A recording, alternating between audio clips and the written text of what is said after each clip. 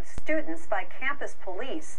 This morning, the school announced it placed the campus police chief on administrative leave.